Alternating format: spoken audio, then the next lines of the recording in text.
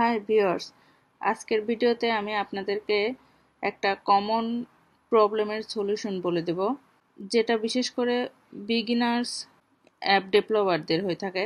সেটা হলো app crash করা। ধরুন আপনি অ্যান্ড্রয়েড স্টুডিওতে অ্যাপ ডেভেলপমেন্ট করছেন, তো আপনার কোডে আপনার কোনো অ্যাক্টিভিটিতে কোনো জায়গায় কোনো ইরোর শো করছে না, কিন্তু আপনি যখন ইমুলেটরে বা আপনার রিয়েল ফোনে অ্যাপ রান করছেন, তখন দেখবেন হঠাৎই অ্যাপ ক্র্যাশ করছে। তো আপনি কীভাবে খুঁজে পাবেন যে আপনার আসলে কোথায় ভুল হয়েছে বা কোথায় ইরোর আছে? তো আমি আজকে আপনাদেরকে সেটা দেখিয়ে দেব। তো আপনি যদি আমার চ্যানেলে নতুন হয়ে থাকেন বা আমার চ্যানেলটি এখনও সাবস্ক্রাইব না করে থাকেন, তাহলে আপনাদের কাছে আমার রিকোয়েস্ট এখনই আমার চ্যানেলটি সাবস্ক্রাইব করুন। তাহলে চলুন। তো দেখুন অ্যাপ ক্র্যাশ তখনই হয়ে থাকে যখন কোনো নাল এক্সেপশন হয়ে থাকে বা কোনো রিসোর্স আপনি ইনপুট করেননি কিন্তু সেই রিসোর্সকে কল করছেন। তো আপনারা দেখতে পাচ্ছেন আমার অ্যাপ স্টার্ট হয়েছে। আমার ফ্ল্যাশ স্ক্রিন দেখানোর পর আমার অ্যাপ ক্র্যাশ করেছে। আমার app trick software dot com has stopped তো আপনারা দেখতে পাচ্ছেন আমার প্রজেক্টে কোডের মধ্যে কোনো জায়গায় কোনো ইরোর নাই, কিন্তু আমার অ্যাপ ক্র্যাশ করেছে। তাহলে আমি কীভাবে বুঝব আমার কোডে কোথায় সমস্যা হয়েছে এবং কেন ক্র্যাশ করল? তো সেটা চেক করার জন্য প্রথমে আপনাকে, আপনার নিচে এখানে দেখতে পাচ্ছেন লক ক্যাট লেখা আছে। এই লক ক্যাটে ক্লিক করবেন। এখানে আপনার ইমুলেটর বা আপনার রিয়েল ডিভাইসে যেখানে আপনি অ্যাপ টেস্ট করছেন, সেটা সিলেক্ট করবেন। এরপর আপনার, এখানে আপনার প্রজেক্ট সিলেক্ট করবেন। এরপর আপনি এখানে দেখতে পাচ্ছেন ভার বোস লেখা আছে। এখানে আপনি ইরোর সিলেক্ট করবেন। ইরোর সিলেক্ট করার পর আপনি আবার আপনার অ্যাপ রান করবেন।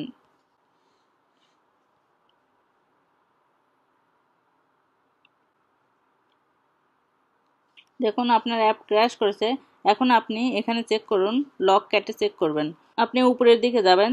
দেখুন, এখানে আপনি একটা ব্লু কালারের লেখা দেখতে পাচ্ছেন মেইন অ্যাক্টিভিটি ডট জাবা একশো পঁচিশ। এর মানে হলো যে মেইন অ্যাক্টিভিটি ডট জাবা ফাইলে একশো পঁচিশ নাম্বার লাইনে সমস্যা আছে। তো আপনি এর উপর ক্লিক করলে আপনাকে সেই লাইনে নিয়ে যাবে এবং এখানে আপনাকে রিজন বলে দেবে কিসের জন্য ক্র্যাশ করছে এবং এই লাইনে কি সমস্যা। এখানে বলছে attempt to invoke virtual method Android view dot get visibility on a null object reference at এটা হলো প্যাকেজ নেম এরপর আপনার মেইন অ্যাক্টিভিটি ফাইলে অন প্রোগ্রেস চেঞ্জ তো দেখুন, আমার এই ফাংশনের মধ্যে বলছে আমি আমার অবজেক্ট নাই, কিন্তু আমি একে কল করেছি নাল অবজেক্ট রেফারেন্স করেছি। তো এখানে আমি বলে, আমার এই ফাংশনের মধ্যে বলেছি যে, আমার প্রোগ্রেস বার ততক্ষণ পর্যন্ত দেখাবে, যতক্ষণ পর্যন্ত আমার ওয়েবসাইট একশো পার্সেন্ট লোড শেষ না হয়। তো আমি প্রোগ্রেস বারের জন্য এখানে ভ্যারিয়েবল নিয়েছি এবং অ্যাক্টিভিটি মেইন ডট এক্সএমএলে এখানে আমি প্রোগ্রেস বারের জন্য কোড লিখেছি। এরপর আমি এখানে ভ্যারিয়েবলটাকে কোনো ইনিশিয়ালাইজ করিনি।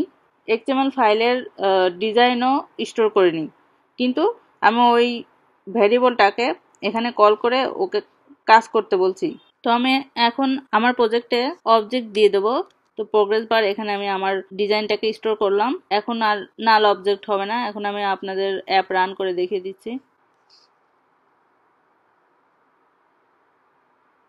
আমার ফ্ল্যাশ স্ক্রিন দেখানোর পর আমার main activity dot Java file run করছে। তো আমার অ্যাপ আর ক্রাশ করছে না ঠিক মতো চলছে।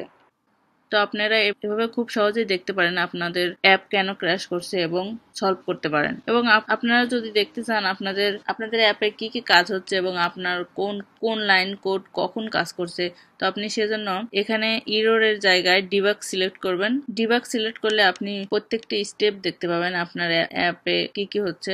দেখুন, আপনাকে এখানে ডিবাগে শো করছে। প্রথমে আমার ফ্ল্যাশ অ্যাক্টিভিটি ডট জাবা এই ফাইলটা এই ফাইলের কাজ হয়েছে।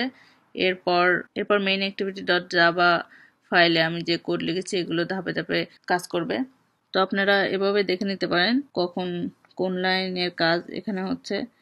তো এভাবে আপনারা খুব সহজে আপনাদের অ্যাপ কেন ক্র্যাশ করছে সেটার কারণ বুঝতে পারবেন এবং সলভ করতে পারবেন। তো ভিউয়ার্স আমার ভিডিওটি যদি আপনাদের ভালো লেগে থাকে তাহলে আমার চ্যানেলটিকে অবশ্যই সাবস্ক্রাইব করবেন। ভালো থাকবেন, সুস্থ থাকবেন, আল্লাহ হাফিজ।